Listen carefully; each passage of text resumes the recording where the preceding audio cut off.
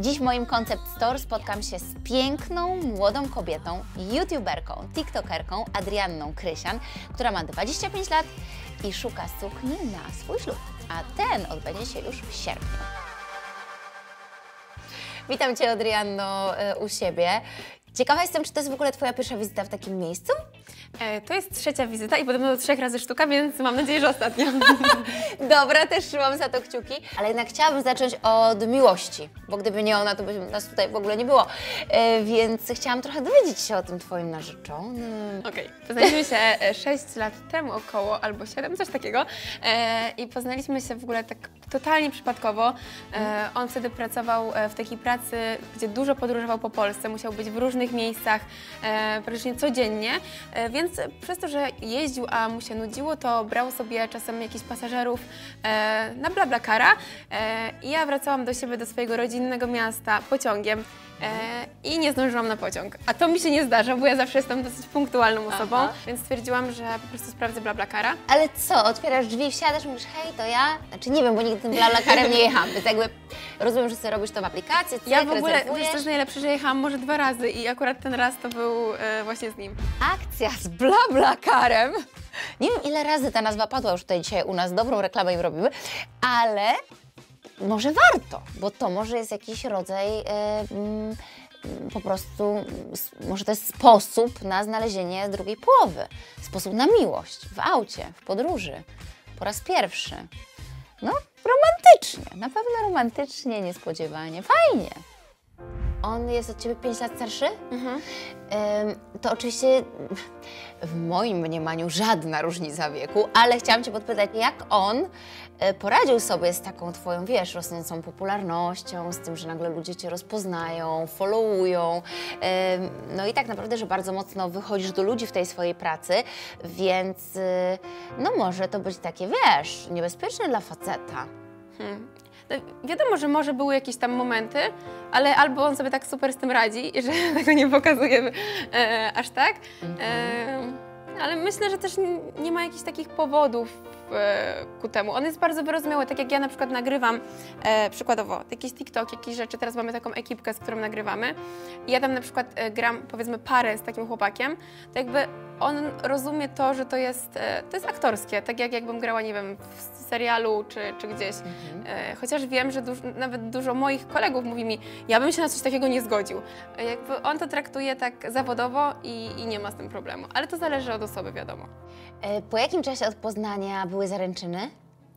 Zaręczyny były dwa lata temu. Czy on dał radę Cię zaskoczyć tymi zaręczynami? Tak, ale w ogóle to był jeszcze ten czas, kiedy, był, e, kiedy była pandemia. Wtedy chciał zrobić mi niespodziankę, powiedział po prostu pakujemy się i, i lecimy gdzieś. No i poleciliśmy na Dominikanę, ale przez to, że były te wszystkie testy, te, te wszystkie rzeczy, no to nie udała się ta niespodzianka, znaczy ja nie wiedziałam, że to są oświadczyny, ale nie udała się ta niespodzianka pod takim kątem, że e, pani na lotnisku e, od razu pierwsze co e, podczas wykonywania testu powiedziała aha, Państwo lecą na Dominikanę, to trzeba te i te testy. I on po prostu mówi, kurde, miał, miałam nie wiedzieć, e, jakie to jest miejsce. No i w dzień zaręczyn to już wiedziałam, bo po prostu był taki zestresowany. Bo to w ogóle miało być e, przy, em, tam przy morzu, e, jakiś taki stolik e, i on też e, śpiewa, więc e, napisał jakąś tam piosenkę, którą miał tam e, jakiś pan e, grać na pianinie, on miał śpiewać i też było średnio z pogodą, przez co później mi powiedział, że kilka razy musiał przekładać to, bo na przykład padało albo wieczorem był straszny wiatr i nie chcieli mu tego zorganizować. Musimy to powiedzieć sobie wprost. Zaręczyny to jest turbo stresujący moment dla mężczyzny. I bardzo często przez to, że właśnie tak strasznie się denerwują, swoim zachowaniem wysypują różnego rodzaju niespodzianki, które dla nas przygotowują w związku z tymi zaręczynami. E, drugi taki stresujący moment według bardzo wielu facetów to jest pierwszy taniec na weselu. Dwie życiowe katastrofy związane z miłością. Powiedz mi teraz trochę na temat tej wymarzonej sukni. Ona musi w jakiś sposób oczywiście pasować do Ciebie, ale też fajnie, żeby korespondowała też z całym pomysłem na tę uroczystość, więc chciałabym trochę dowiedzieć się o tym Twoim planie na ten ślub i wesele i na, o planie na suknię. E, jeśli chodzi o suknię, to z tego co mierzyłam, to bardzo podobają mi się takie suknie, które są w literkę A. E, fajne są też gorsety. Jak mam tutaj odcięcie e, na talii, E, I tutaj na przykład jest puszczona suknia, jakiś taki tiul. Podoba mi się też jakiś rozpierdek na nogę albo lekko prześwitujący materiał. Coś delikatnego i bardziej w literkę A. Nie do końca się czuję na przykład w księżniczkach, ale takie syrenki albo literka A to jest chyba taki najbardziej mój typ. Czyli nie boisz się ciałka pokazać, tak? Masz co, to pokazujesz. Bardzo dobrze, jestem cała na tak. Powiedz mi jeszcze, jak ma wyglądać ten dzień? Czy to będzie ślub w kościele, czy to będzie jakiś Tak, to plener? będzie e, w kościele. No to nie możemy przesadzać z tą nagością, żeby ksiądz trupem nie padł. A później, e, no później wiadomo na sali. I jaki jest styl tej sali? Ogólnie jaki jest pomysł na Workowy styl? taki. Czyli elegancko. Raczej elegancko, elegancję. tak. Mhm. Ale mm, czy, czy taki vibe vintage'owy to jest coś, co Cię kręci, czy raczej y, elegancko, ale nowocześnie? E, raczej nowocześnie. Masz dzisiaj ze sobą super dziewczyny. E, rozumiem, że to są mm, takie osoby, z którymi masz bardzo silną relację. Czy możemy powiedzieć, że to jest przyjaźń? Tak, jak najbardziej. Ale Mhm. wszystkie to są Twoje przyjaciółki? Tak, wszystkie. A nie ma tak, że przyjaciółka to jest jedna sztuka? Nie. Jak, w ogóle jak, nie wiem dlaczego, ale akurat ten moment mówienia o przyjaciółkach jest zawsze taki dla mnie wzruszający, bo myślę, że to jest bardzo ważne mieć takie osoby w swoim życiu. Osoby, które nie zazdroszczą, osoby, które nie są zawistne w żaden sposób, które po prostu Cię wspierają i są z Tobą, na które zawsze możesz liczyć i jesteście jak trochę taka rodzina, jak takie siostry. Ja je traktuję właśnie jak takie moje siostry, wiem, że o wszystkim możemy sobie powiedzieć i samo takie spędzanie chwil z nimi jest po prostu wyjątkowe. Cześć dziewczyny. Cześć. Super, że jesteście. No my też się bardzo cieszymy. No dobra, ale się będzie działo. Y, powiedzcie jeszcze, jak macie na imię, żebyśmy potem wiedzieli, która co mówi i która komentuje negatywnie te piękne suknie. Ja jestem Ola. Ola. Paulina. I też Ola. Ola, dobra, super. E, Słuchajcie, czy wy jesteście takie w ogóle mm, bardziej szczere czy miłe? Bardziej szczere. Szczere, zdecydowanie Tak? szczere. Zdecydowanie. Czyli jak będzie źle wyglądała, to jesteście w stanie jej to powiedzieć prosto w twarz? Nawet musimy, Tak, uważam, że musimy. tak, ona od nas tego oczekuje, więc... No to będzie grubo. No dobra, to co, zaczynamy? Tak. Moja pierwsza propozycja e, dla Adrianny to jest taka suknia, która ma zobrazować to, o czym mi ona mówiła, czyli wszystkie jej marzenia związane z suknią ślubną.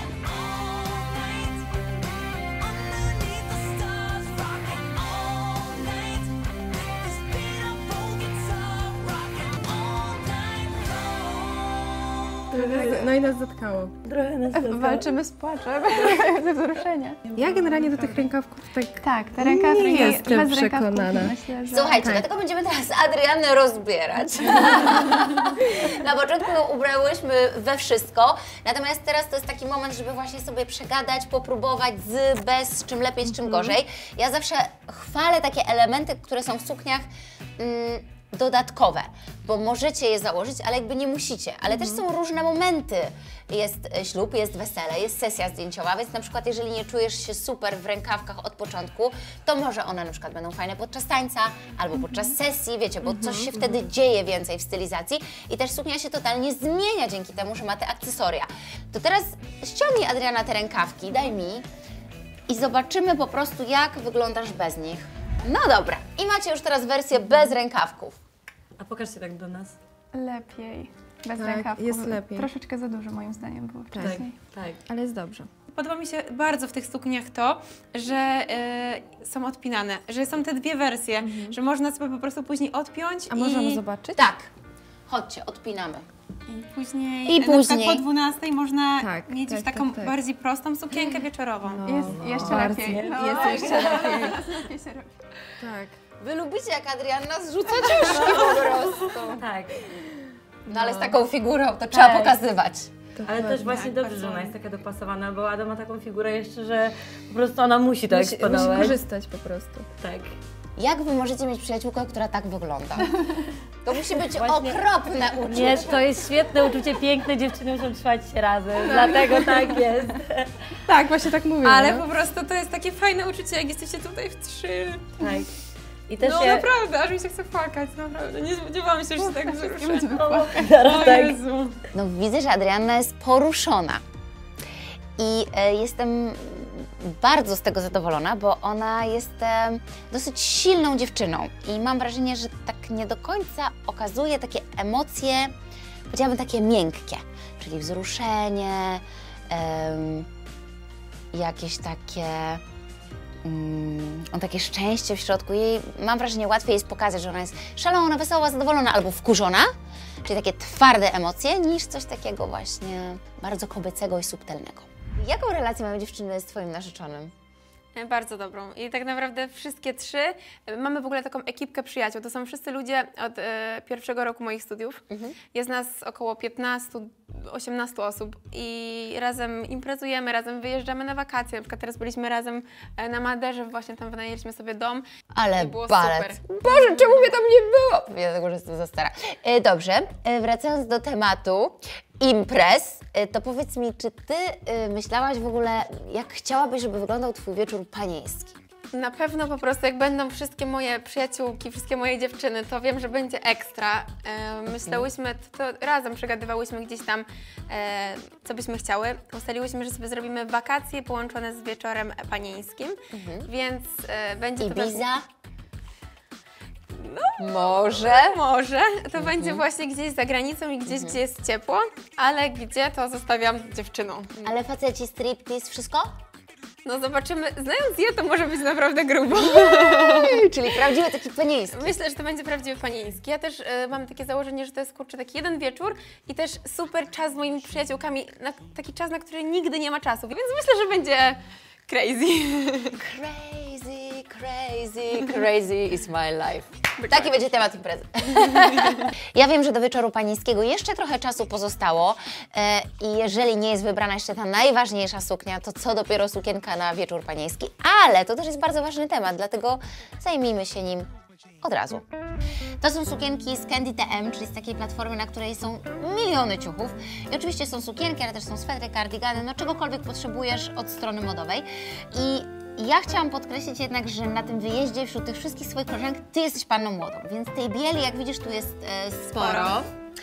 E, no Twój charakter taki delikatny i niewinny będę podkreślać. Taki żarcik. No ta jest bardzo ładna, fajnie też wygląda tak jakby była e, w tym kolorze ciała pod spodem, więc to może naprawdę ciekawie wyglądać, więc to mi się bardzo podoba. Zobaczymy kolejną. Hmm, ta jest też ciekawa, w sumie tak na wakacje, fajny materiał, chociaż chyba, chyba jest taka mm, bardziej śniadaniowa, może nie wiem jak to No nazwać. wiesz, nie, nie każdego Ale- dnia jest impreza, znaczy może każdego dnia jest impreza, ale dopiero wieczorem. No ta jest też ciekawa, taka bandażowa, więc może ładnie podkreślić sylwetkę. Mm, Nie jestem przekonana co do długości, bo wydaje mi się, że będę w niej, e, że ona mnie tak e, optycznie skróci. Czyli co, będziemy ją ciąć tutaj? Możliwe. Ta jest też ciekawa. Podobną kiedyś miałam w takim fiolecie. To jest też bardzo ładny fajnie kolor. wyglądać. I króciutka, że będzie widać super zgrabne nogi. Mm, Podobałoby mi się. O, ta jest super. Mm. No, tą na pewno chętnie przymierzę. To jest w ogóle mój taki e, jeden z ulubionych modeli, więc naprawdę ta, myślę, że ta i ta, te dwie najbardziej. No, A w sumie są troszkę podobne, nie? dokładnie, tylko różnią się długością. No to co, zaczynamy mierzyć? Tak. No dobra, to leć. Ciekawa jestem, e, którą sukienkę wybrała Adriana. You can blame it all,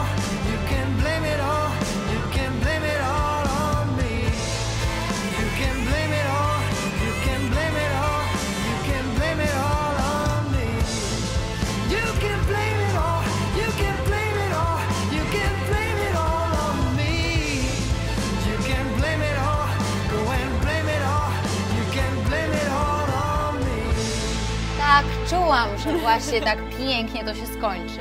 Tak. I w końcu długa. Tak, w końcu długa. E, przymierzyłam też tamtą, tamta też jest bardzo ładna, ale jednak ta, jak ją założyłam, to miałam takie, że to jest ta. Więc naprawdę bardzo mi się podoba. Rozumiem, że nie na śniadanie. Chyba nie. To bardziej kolacyjnie czy Tak. imprezowo? Bardziej myślę, że kolacyjnie. Tak właśnie jest taka elegancka na jakąś kolację, myślę, że będzie idealna. No dobrze, czyli tak, suknię na wieczór panieński mamy. Temat odhaczony, bardzo Tak. ważny, wyszło pięknie, a teraz musimy wrócić do tematu wyboru sukni ślubnej. Jesteś gotowa?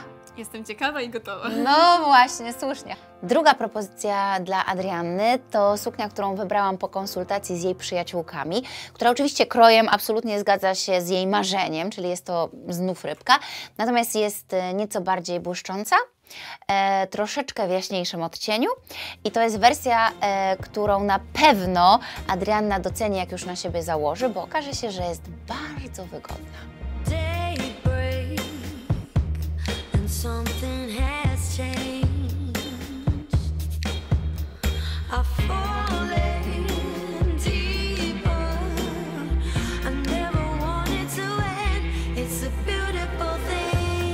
No mi się tam to bardziej podoba. Chyba jednak, y, chyba jednak tamta. Tamta. Nie wiem w sumie. Znaczy ona jest ładna, piękna. ale dla mnie tu za bardzo się ten dekolt tak jakby rozchodzi, nie wiem. Mm, Wydaje mi się, że tamtej lepiej wyglądałaś. Ten, ten dekolt, ten dekolt. chyba jednak. Tak. Ta suknia daje taki ogromny komfort noszenia, przez to, że jest po prostu ta siatka i ta suknia się świetnie trzyma, więc tutaj nie ma obawy, że coś wyleci. Tak, tak. Dokładnie. Także to ym, ściąga wiele stresów z panien młodych. No tu się więcej dzieje. Biust chyba faktycznie podobał mi się też bardziej w tamtym gorsecie. Właśnie wydawało mi się zawsze, że gorsety totalnie mi nie pasują przez większy biust, a w tych gorsetowych sukienkach się całkiem fajnie czuję. Te zdobienia Cię nie drapią? Nie. sposób? Właśnie Ale tutaj w chyba ogóle. mi się dół y, bardziej podoba y, w porównaniu do Właśnie to pierwszej. jest super, bo jak mierzyłam suknię, to w niektórych sukniach w jakichś salonach nie drapały te rzeczy i nawet w takich drogich sukniach, e, a tutaj w ogóle nie czuję tego, że tu są jakieś diamenciki. Jest bardzo fajnie podszyte od spodu, że, że jest duży komfort. A z tyłu masz jakąś tam kokardę, tak? Tak, jest kokardka. A pokaż się jeszcze tak do nas, do przodu. Mnie przekonuje bardziej to, że jest taka biała. No dół może rzeczywiście mi się bardziej Dół tak, jest, e, tak, tak, dół ale góra. Ale góra tak bym podmieniła. tak. Czyli y, taki rodzaj, rozumiem, koronki trochę mocniej zdobionej, ale u góry wolałybyście po prostu taki gorset z fiszbinami. Tak, tak. Tak, no ja finalnie jakbym miała wybierać pomiędzy tymi dwiema, to wybrałabym to pierwsze. Mm, A jaki jest Twój stosunek właśnie do takich akcesoriów, ozdób, biżuterii? Lubisz, czy raczej rzadko nosisz? Lubię, ale też zależy do, do czego. Jak jest jakaś prosta stylizacja, to to bardzo dużo daje, a jak już tutaj dużo się dzieje, to raczej unikam, więc lubię, ale też nie za dużo, żeby to było tak Czyli umiesz wyczuć ten moment. Staram się. Chociaż ten złoty kajdan to Lubisz biżuterię? Nie. Nie, delikatny, skromny tutaj. no właśnie on troszkę tutaj nie do końca pasuje, ale... Czy wyobrażasz sobie siebie na przykład za 10 lat, za 15, jak będzie wyglądało Twoje małżeństwo? Czy Ty zamierzasz być mamą? Czy Ty nie chcesz być mamą? Czy będziesz miała piątkę dzieci? Jaki masz plan na siebie? E, powiem Ci tak, ja aż tak daleko chyba mm, jeszcze nie wybiegam w przyszłość. Mm, teraz mam takie podejście, że po prostu trochę żyję tu i teraz. Mm, ostatnio właśnie taki upływ czasu to jest dla mnie rzecz, która mnie troszkę przeraża i, i tak dojeżdża. Jakby bardzo długo. Ta, ja w ogóle Od, tak, ja w ogóle od, e, słuchaj, od małego e, bałam się strasznie śmierci i bałam się strasznie w ogóle upływu czasu. Byłam w stanie w nocy przyjść do rodziców i po prostu płakać, że ja nie chcę być starsza. Ja po prostu tak kocham życie, tak kocham to, co robię, ludzi, których mam w swoim życiu, e, moją rodzinę i że po prostu nie chcę jakby, nie chcę, żeby to, to szło dalej. Chciałabym, żeby to było cały czas tu i teraz, ale wiadomo, że rozwój też jest super i z każdym rokiem e, dzieje się coraz więcej, to są coraz fajniejsze rzeczy. Jeśli chodzi o dzieci i o jakieś e, takie aspekty, to na pewno w swoim czasie. Jakby nie chcę też sobie narzucać żadnej presji, że w tym wieku powinnam już mieć dziecko albo w tym wieku, e, nie wiem, już wypada. Nie, jakby totalnie tak nie mam. Jak będę czuła, że to jest ten moment, to to będzie dziecko, jak nie będę nigdy czuła, że, że potrzebuję, to nie będzie, wiesz co chodzi. Po prostu podchodzę do tego też z takim dużym luzem. Mhm. Ale jak rozmawiasz e, ze swoim narzeczonym, to, to czujesz, że on chciałby mieć oprócz Twojej szalonej pracy i oczywiście całego tego tempa, które się wokół niej dzieje, em, takiej po prostu spokojnej rodziny w domu?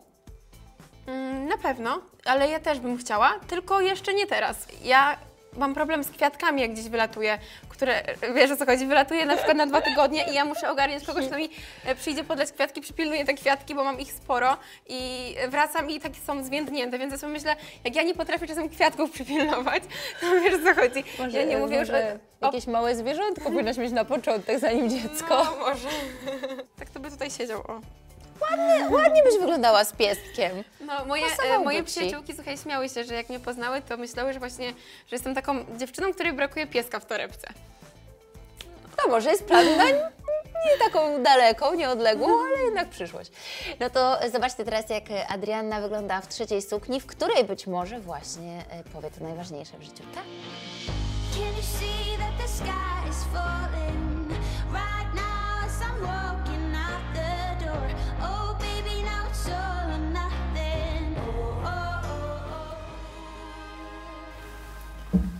Jest szał. Wygląda bosko, wygląda fenomenalnie, nowocześnie, modowo, lekko. No jest w tym po prostu taki pazur. O, zwrócisz się do nas? Za nie mówiłyśmy. Tobie się podoba, czy nie podoba Jak się, się? czujesz? wierzysz? Ja w takim fasonie e, wielkim czuję się.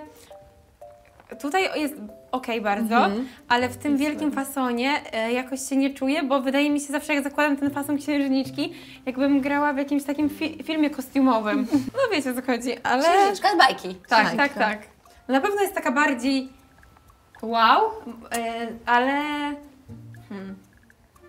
Ale chyba wolę takie proste, takie, No. takie delikatne w dół. dam sobie rękę uciąć, a mam tylko dwie i bardzo w sumie do nich przywykłam, e, że jak Adrianna wchodziła, to one po prostu na twarzach miały wymalowany zachwyt, bo jak ona szła w tej szerokiej sukni, po tych wąskich bu, rybeczkach, to nagle było takie wow, po prostu idzie panna młoda i wygląda czadersko. No. Jest szał. I ma super biust, i ma mega kieckę, w ogóle co w tej kiece się dzieje, na górę, inny dół. No były zachwycone. I w tym momencie Adriana zaczyna, "Hmm, nie do końca, to nie mogę, to za szeroko, to w ogóle, nie księżniczka. jest-" No i one już tak, wiadomo, dobre przyjaciółki, powiedziały, okej, dobra, to nie będziemy jej mówić, że wygląda cool, jak i takiej nie chce. I wszystko opadło, jak powiedziałeś, nie, ja się w tym nie czuję, chcę wąską.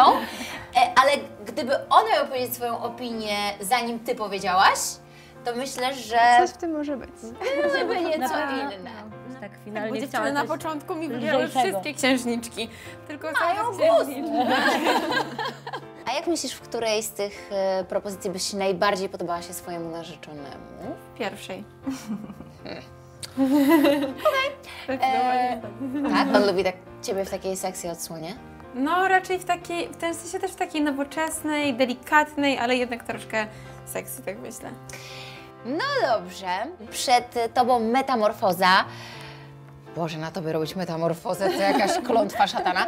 E, ale dobrze, e, spróbujemy. Natomiast zanim rozpoczniemy z tą e, metamorfozą działać e, z chłopakami, to jeszcze chciałabym Cię zaprosić, bo chciałabym Ci coś pokazać. Zapraszam, chodź. Przed metamorfozą babskie rozmowy o kosmetykach przed nami.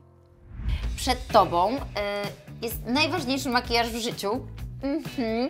Ale do tego makijażu trzeba odpowiednio przygotować skórę. I e, jestem przekonana, że, że Ty jesteś taką bardzo świadomą osobą i, i pięknie dbasz o swoją cerę. Natomiast ją trzeba wyjątkowo przygotować, ponieważ ten makijaż to jest trudny makijaż, bo to jest ciężki makijaż, który Musi się długo trzymać. dokładnie przetrwać cały dzień. Y, latem będziesz miała ślub, więc gorąc, emocje i tak dalej, a potem całą noc. I tak naprawdę to y, jest mega ważne, żeby ten makijaż przetrwał, żeby dobrze przygotować swoją cerę pod niego, więc to jest absolutna podstawa.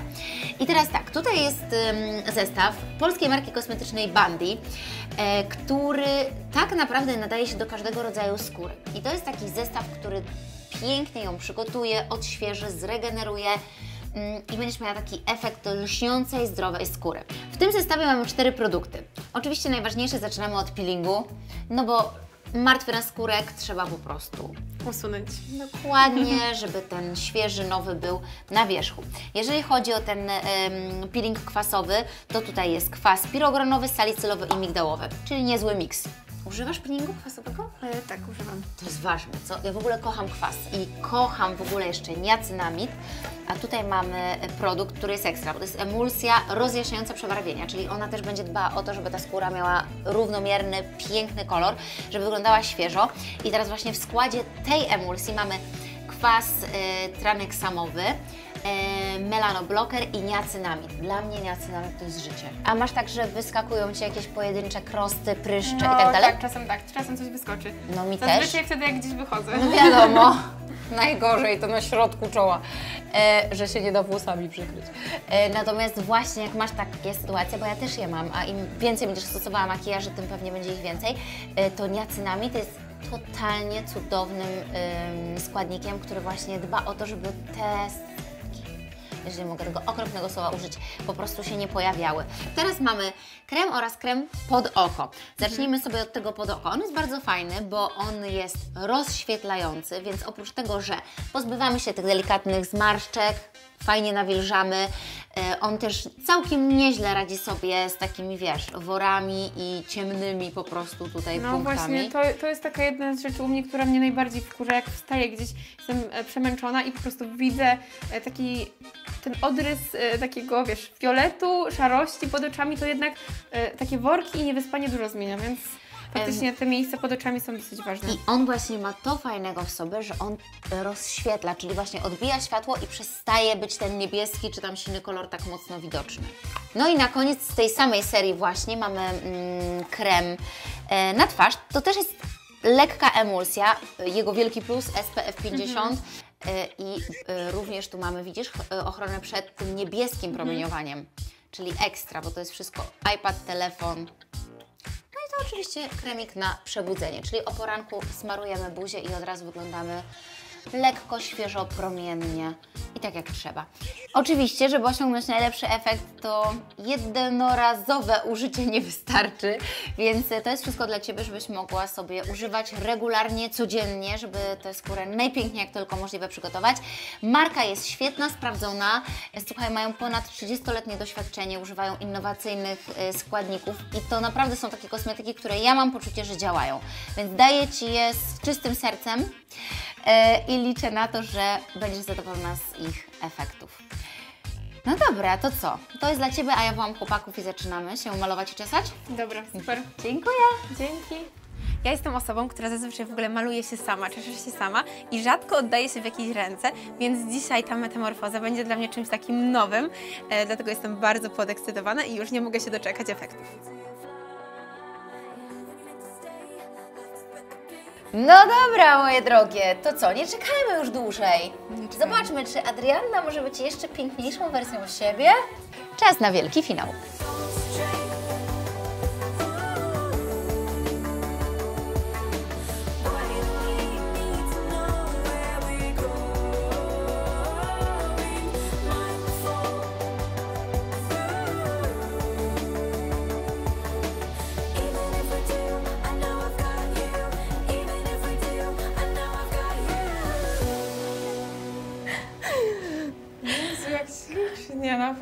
Naprawdę, jestem w szoku.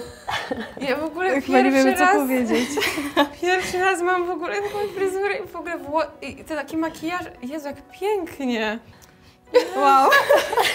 Masz takie wielkie oczy ze zdziwienia. Znaczy jestem super szczęśliwa, bo myślałam, że już Cię nic nie zaskoczy w Twoim wyglądzie, ale wow. No, ja jestem w szoku, w ogóle się nie poznaję, naprawdę. Naprawdę, muszę podejść bliżej, mam słabe soczewki. Dobra, poglądaj sobie. Jejku, jak ładnie te włosy zrobione w ogóle i makijaż. Jestem w szoku. W ogóle nie myślałam, że ja mogę wyglądać tak dobrze w takich włosach i w takiej fryzurze w ogóle. Teraz te rękawki jakby Dodają e, dużo. dodają i są takim super uzupełnieniem. Teraz poprzeczka na prawdziwy ślub jest tak wysoko zawieszona, jeśli chodzi o, o makijaż i o włosy, że naprawdę. Słuchaj, nie musisz się inspirować, możesz to zerżnąć. Nie wykluczam, że tak zrobię. Jest tak dobre, tylko trzeba to dobrze zrobić jeszcze raz. No słuchaj, jestem super szczęśliwa, bo wyglądasz po prostu fenomenalnie.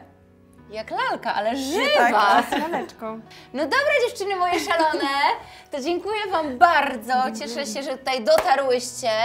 E, życzę Wam super panieńskiego. Jakbyście miały wolne miejsce w samolocie, Słuchaj, nie mów, bo jeszcze się zdziwię. just give me a call! I lecę z Wami. No i życzę Ci przepięknego ślubu. Dziękuję Ci Masy bardzo. wzruszeń. Pięknie wyszło, jestem taka szczęśliwa. Piąteczki. Bang, bang, bang. Świetna robota. Dziękuję Wam. Udało się.